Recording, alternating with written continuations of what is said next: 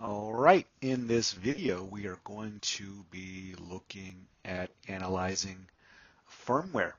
We're going to be using QEMU and Binwalk to understand what type of image this firmware is.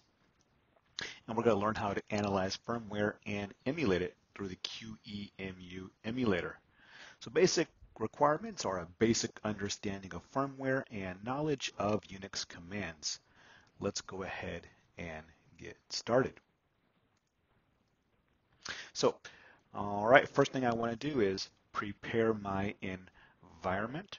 And I've copied a couple files over to my machine and I put those in my downloads folder. And uh, these are the files. This is my firmware and this is my ARM image.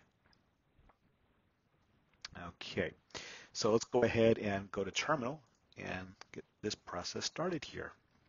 First thing I want to do is I want to install QEMU. That is an emulator. I'm just going to type in sudo apt install QEMU dash y.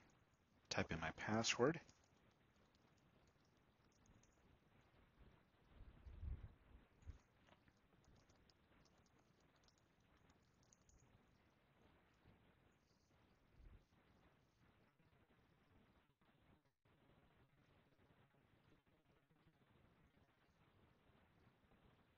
All right, so that was the QEMU. Now there's one more thing I have to install, and that is the binary. So let me do that. sudo apt install QEMU-system-y.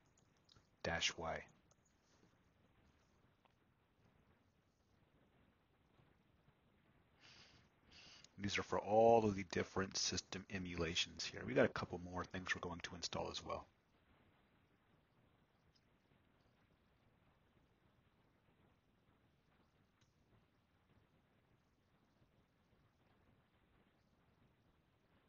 All right, now let's do ahead, go ahead and do this for the ARM system emulation binaries. I'm going to type sudo apt install qemu-system-arm-y. And ARM is already installed and at the newest version. A couple more things to install. Let's get the common system emulation binaries.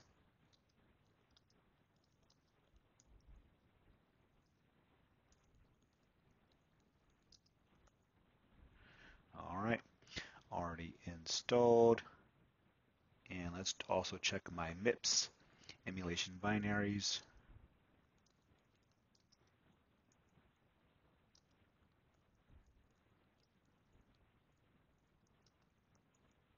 All right, very good. Let's also do my PPCs.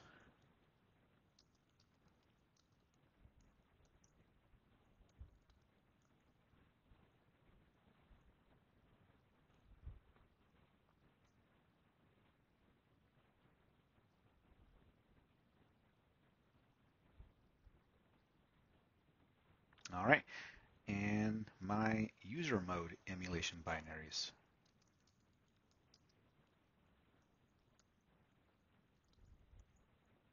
All right.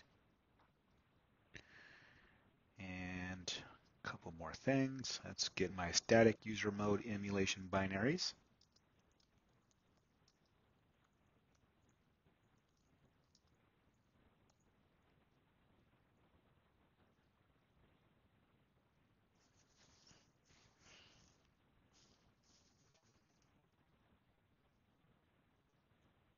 All right, let's get my QEMU utilities.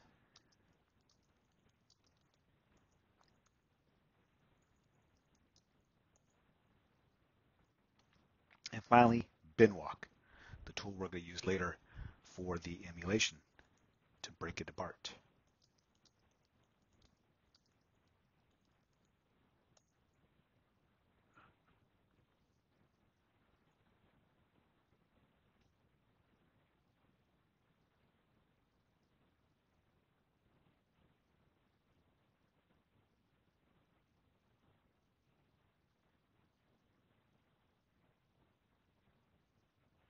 All right, excellent. So They would like us to make a file called firmware forensics. I'm going to go ahead and do that on my uh, desktop and I'm going to put those files in there. So firmware forensics and let me move those two files to that place. Desktop. Okay. Perfect. Let's go ahead and navigate to that location.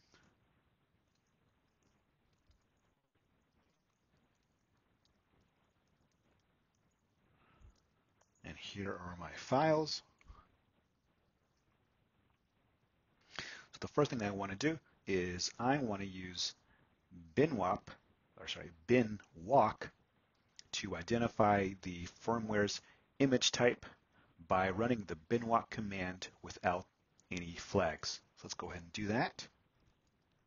Binwalk, tab to complete, open WRT, and we see we have Linux kernel ARM executable ZImage, and that's why we went ahead and installed the QEMU ARM emulation.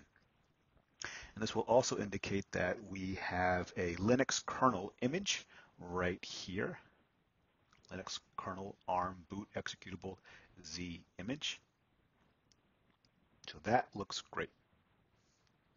So next, let's go ahead and check the entropy of our firmware file. And entropy is used for reverse engineering and binary analysis. Data that are compressed and encrypted are close to the maximum possible level of entropy which allows you to differentiate then from uncompressed and unencrypted data. The use cases for analysis can be for malware, firmware, and file identification. So that's why we use entropy. And with binwalk, we're going to be able to examine the entropy of our firmware. So let's go ahead and get started. So binwalk with the dash E command here. And here we go. And you see that uh, we get a nice graphic there showing our entropy of our file. Pretty much a, a straight line. Okay. And let's go ahead and they would like us to also compare the entropy of the ls file to show you some of the differences here. So let's go ahead and do that. We make a, uh, a new tab here.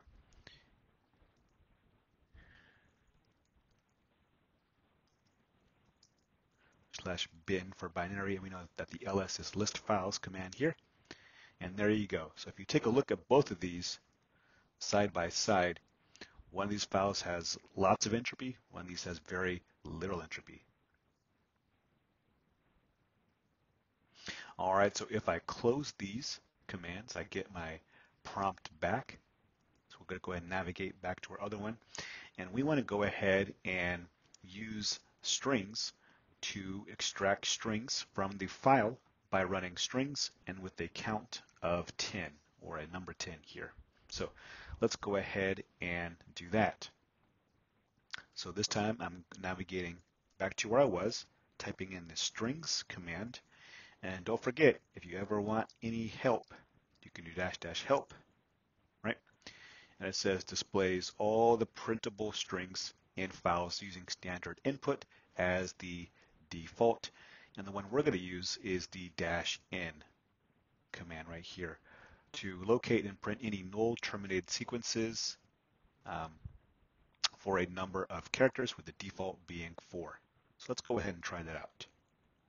So strings dash in 10 open WRT. We're actually going to be able to get any uh, text that is in this binary file. And as you see, if I scroll up here, we're getting a lot of data here. Let's go to the top there we go. So starting right here, you see that here's our um, Linux kernel image right here, and we get some information about it, uncompressing Linux, booting the kernel, and XZ decompressor ran out of memory. Input is not in the XZ format, wrong magic bytes, and don't forget, magic bytes help you identify what type of file this is. And then we get a whole bunch of other information at the bottom here, a whole bunch of random characters. All right, so for comparison, we're going to do the same thing with the ls command here. So I'm going to type in strings slash bin slash ls. And as you see, a much different image here, right? Look at that.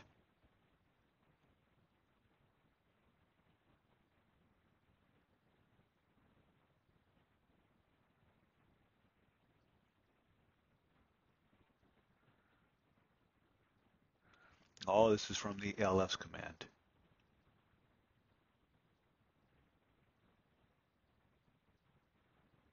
Pretty impressive, huh? There you go. All right, so um, the question is based off of the results regarding the firmware file, you know, is it compressed, is it encrypted, or is it not compressed or encrypted? Well, one thing that you can um, deduce is that based off of the entropy measurement and the output of the strings command, we can assume that our file is encrypted or compressed. So let's go ahead and uncompress it here and extract the files of the um, file that we got here for our firmware. So again, I can do bin walk dash dash help. Take a look at my syntax, and we're going to be using the ME uh, switches here. So dash M, recursively scan extracted files, right? And then we're going to do the dash E, extract known file types. Okay. So let's do sudo bin walk dash me open WRT.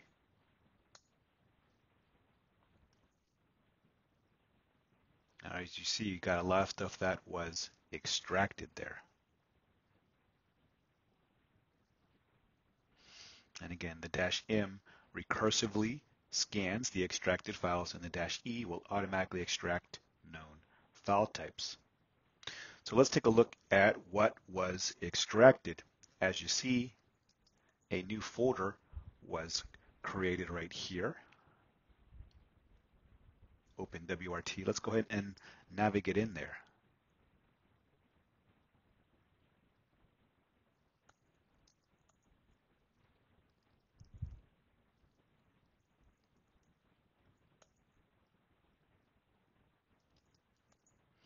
And you see all this data right here was in that firmware and as you can see, you know, this was a um, OpenWRT firmware, which is in fact a um, routing software. It's open web routing software. So in case you wanted to really get professional level capabilities on your smaller home office router, you can install the OpenWRT firmware on that and really transform your router to make it act like an enterprise grade router with lots of the bells and whistles here. So that's in fact what we're looking at. And again, we're also looking at the ARM version of it for the ARM CPU architecture, but pretty cool, right? And again, we're just playing with firmware and we're actually able to open it and extract it. And uh, you know, the same type of stuff we would do if, if we were doing digital forensics or DFIR. So as you see, we had a lot of files in there, right? Um, so pretty cool. Let's go ahead and keep going. And the next thing we're going to do here is um, we actually want to emulate um, the firmware that we've downloaded. And just for some context, you know, I think uh, let's go ahead and see if we can't show you the uh, open WRT you what it's all about, right? So this is the project, right? So again, this is software for our routers, right? Um, it's a Linux embedded operating uh, system for your routers, and it's it's pretty great, right? And it does support a lot of firmware, and this is exactly what we're looking at. This type of firmware. Um, you would just type in your um, router. Let's do uh, Linksys. And for example, let's do, I don't know, these E2500. And you see um, platform Broadcom 47 with the MIPS ar architecture. As you noted, we did install that, so we could play with MIPS uh, files as well. And these are all the packages that are installed, included in this firmware. And then you could download the binary um, if you would like. All right, let's go back to our lab. So, like I said, our next step is we're going to actually emulate um, our firmware and simulate working in this router. So let's go ahead and try this. We've got a lot of commands to type in here, but uh, it's not going to be so bad here. All right, so I'm just going to go back a little bit, clear out my screen, desktop, firmware. All right, let's go ahead and emulate this thing. So don't forget, we had our QEMU system ARM. This is going to help us emulate our ARM and CPU instruction set.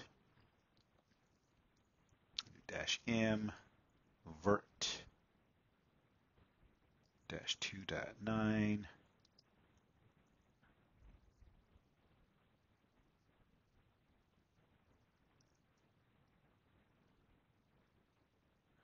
Now I want my kernel, ARM image, no reboot.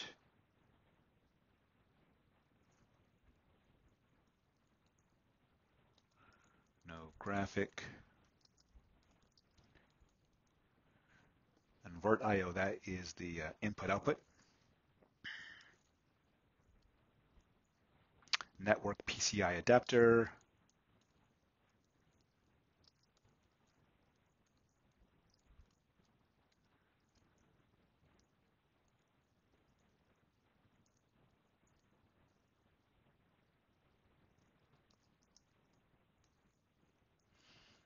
This on port 8080.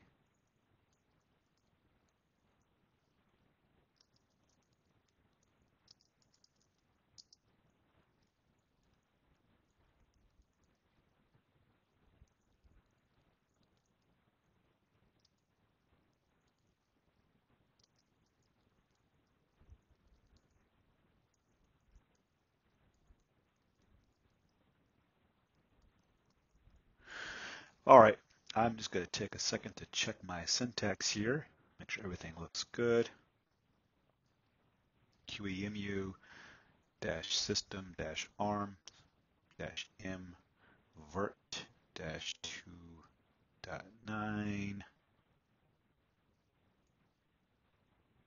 dash kernel ARM underscore image dash no dash reboot dash no graphic dash device vert IO net PCI dash net dev user comma ID equals net1 hosts forwarded to TCP Clinc 8080 to 80 device vert IO dash net PCI net dev equals net1 dash append. All right, I think my syntax looks good. Uh, let's see, uh, dash no, invalid option. Let me see where my error is. Probably next to ARM image.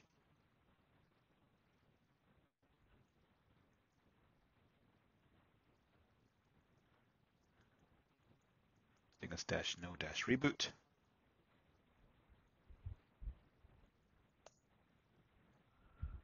Let's see, dash net PCI, invalid option. Let me see.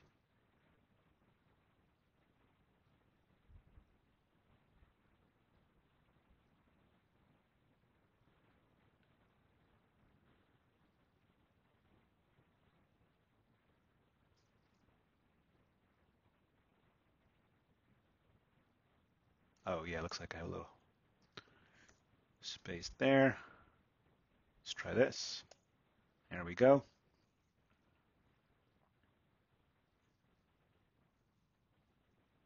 And as you see, it's starting to get my emulation started. So it says uh, after one minute or so, you're going to go ahead and get this started.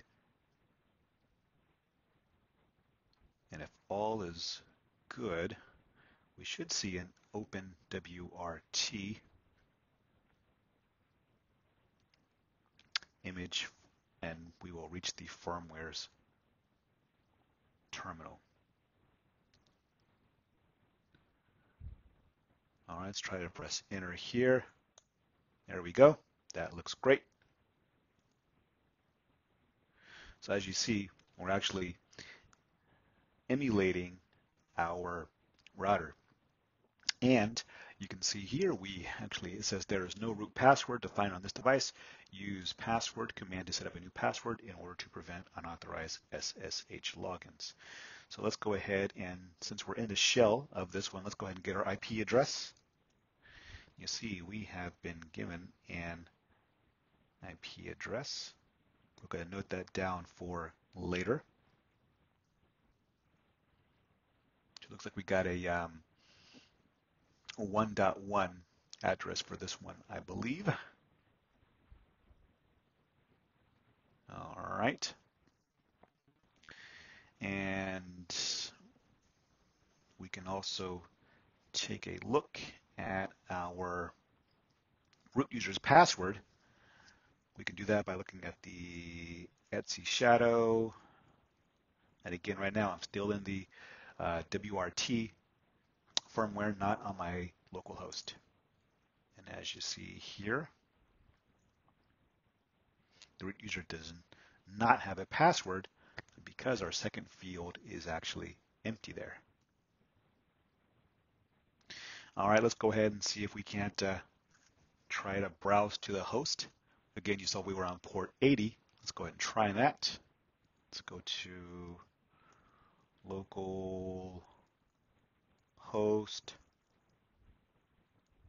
colon 8080. And it says the connection is blocked. So let's go ahead and stop our firewall and see if we can't get back on. So we're going to basically stop it using the etc init.d slash firewall stop. All right, let's try this again. There we go. We're now in our OpenWRT again. This is emulated. Let's go ahead and log in. We saw that we didn't have a password for root. Let's go ahead and log in here. And there we go. We are now on our the firmware, right? This is all through software. Let's go ahead and um, keep on going here and they would like us to go to the password configuration option and set a password. All right, I'm going to do um, A, A, 1, 2, 3, 4, 5, 6. And then the same thing, A, A, 1, 2, 3, 4, 5, 6, the one we have been using for this class. And then I'm going to click on Save and Apply.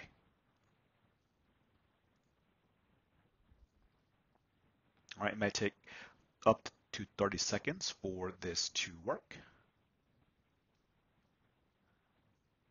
All right, now let's go back to our etc shadow and see if we have a password now. And you see there, boom, we actually have something, whereas before we had nothing. So we know that we now have a, a password for our root account. Again, that is how you can open up firmware and emulate it through an emulator like QEMU. So if you'd like, go ahead and try some other firmware using similar tactics as we did in this lab. All right, I'll see you in the next one.